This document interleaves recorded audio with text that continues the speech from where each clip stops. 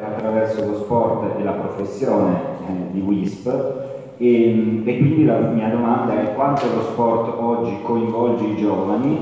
eh, quali sono le difficoltà e quali sono invece gli strumenti, eh, in particolare pensando ai giovani di cui stiamo parlando, i più difficili da coinvolgere, quali sono appunto le difficoltà nel coinvolgerli nell'attività sportiva e invece quali possono essere gli strumenti per farlo.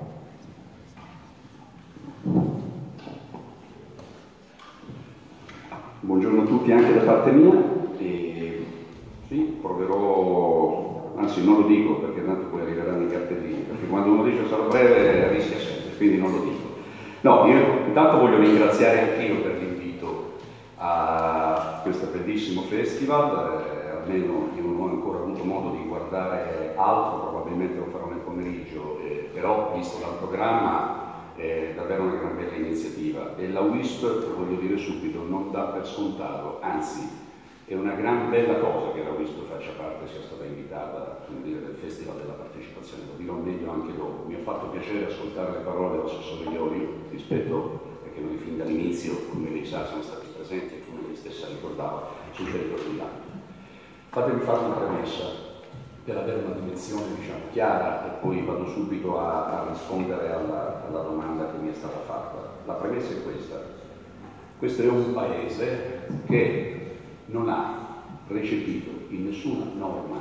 statale o, eh, visto la potestà legislativa anche delle regioni, regionale, della definizione di sport. Quindi noi partiamo già rispetto a quello che può essere tutto il coinvolgimento dell'associazionismo sportivo base, dilettantistico, professionistico, eccetera, eccetera, che lotta costantemente facendo una definizione, passatemi il termine,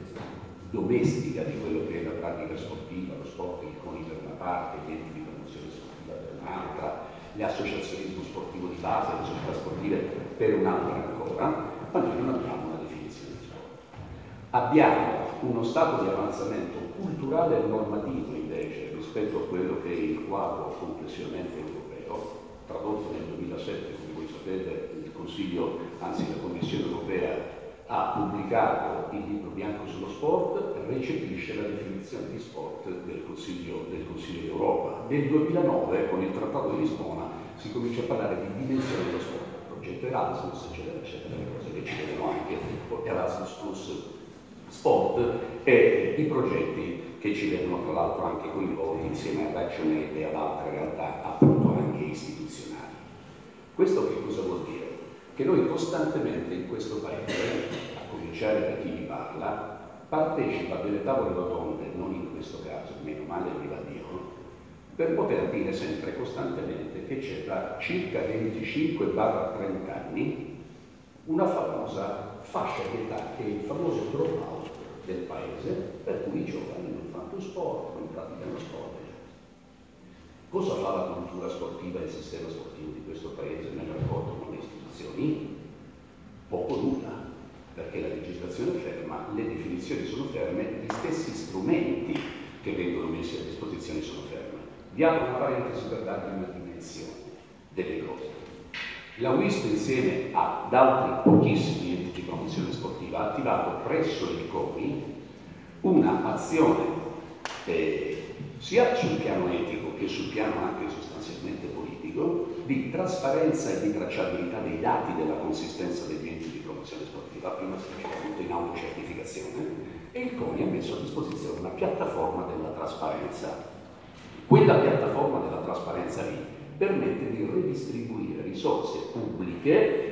che anche gli enti di promozione sportiva intercettano sulla base di alcune percentuali, di alcuni schemi trasparenti. Primo, le federazioni sportive questa roba non ce l'hanno. No? Quindi uno prende risorse, investe per portare a casa le medaglie. Guarderemo tutti Rio, guarderemo tutti, ci esalteremo se portiamo a casa le medaglie, sottolineo una cosa, l'85% del medagliere italiano è legato ai corpi armati dello Stato e probabilmente sarà di nuovo la stessa cosa. Che cosa voglio dire? Di fronte a questo c'è il protagonismo, come spesso accade in questo paese, della mitica società civile e di come i cittadini si auto-organizzano, quindi qui Spaccionate, altre organizzazioni che la società civile spesso e volentieri non attende di avere un quadro legislativo, un quadro normativo di riferimento, ma si fa carico, si assume una responsabilità, essendo organizzazioni appunto mutualistiche e quindi organizzano attività, proposte sportive, eccetera, per i propri soci, ma siccome sentono la responsabilità sociale nel rapporto appunto con le istituzioni e con tutti gli altri soggetti delle reti, delle reti sociali. Ed è chiaro che da questo punto di vista cerchiamo di incidere, WISP, insieme ad altri soggetti, cerchiamo di incidere su quello che è non solo la necessità di garantire come diritto di cittadinanza e attraverso lo sport tutti i diritti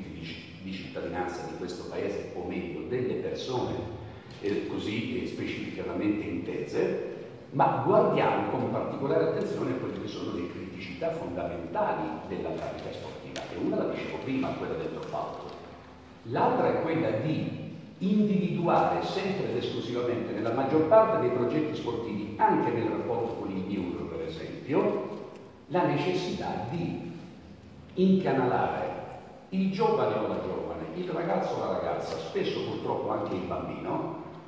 la fede del motociclismo mette sulle minimoto già a 6 anni, 6 anni e mezzo i bambini, eh? quindi stiamo parlando di questo, la famosa precocizzazione per individuarlo dopo si discute di dropout, dopo c'è una fase, questa invece è normale nella vita delle persone perché si aprono ad altre esperienze, eccetera, eccetera, ma questo tema del dropout non si sposta perché non ci sono investimenti dal punto di vista prettamente culturale per cominciare a dire che il bambino, la bambina ha bisogno di un approccio multidisciplinare rispetto a quello che è la pratica sportiva e all'inizio di puro gioco e se vogliamo scomodare piacere di psicomotricità pura e quindi di crescita diciamo, della persona rispetto al tema, come dire, no? del diventare cittadino dell'essere cittadino a pieno titolo. A questo punto la WISP dice bene, noi abbiamo nel nostro 1.335.000 eh, banca dati soci una percentuale notevole al di sotto già dei 16 anni, ma anche al di sopra dei 16 anni, la fascia 16-24-16-35, con queste persone cominciamo a assumere una responsabilità dal punto di vista formativo, ripeto, nel rapporto con le reti, con gli altri soggetti delle reti sociali, e ad assumerci una responsabilità per dire la pratica sportiva deve essere assolutamente una pratica appunto appetibile, una pratica che deve essere eh, misurata alla necessità, e qui prendo per esempio appunto il progetto che abbiamo fatto, che abbiamo presentato con Action Aid, React Lifestyle, no? il progetto europeo su risocializzazione appunto dei, dei NIT, su questo io non aggiungo altro, è stato detto molto bene da chi, da chi mi ha preceduto, e quindi utilizzare sostanzialmente le opportunità di pratica sportiva per assumersi di nuovo una responsabilità di cittadinanza e quindi attraverso il calcio o il gesto diciamo, atletico o tecnico del calcio, della danza in questo caso, o della pallacanestro come abbiamo fatto nel progetto, nel progetto di Torino di cui si ricordava con il finanziamento appunto il sostegno dell'Agenzia dell Giovani della Regione Piemonte 2014-2015 eh, su questo la WISP vuole sostanzialmente agire perché attraverso la come dire, valorizzazione delle soft skills, così come vengono chiamate, anzi abbiamo visto anche dal punto di vista dei numeri, io qui di due mi fermo sperando di non avere il cartellino rosso prima di farlo, 81 ragazzi che siamo riusciti ad intercettare dentro questo progetto, 24 coinvolti nel progetto in allenamenti regolari, 4 sono stati inseriti in tirocinio, 3 giovani, grazie appunto al lavoro di motivazione, hanno avuto risorse proprie individuate dalle opportunità lavorative, 3 giovani hanno ripreso gli studi interrotti, 14 inseriti in garanzia giovani, 10 non l'avrebbero fatto senza il progetto e 10 colloqui realizzati con inserimento lavorativo.